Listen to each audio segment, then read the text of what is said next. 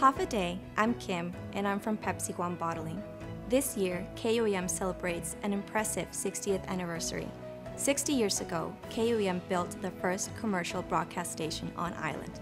And since then, KUAM has been a leader in news and entertainment on Guam.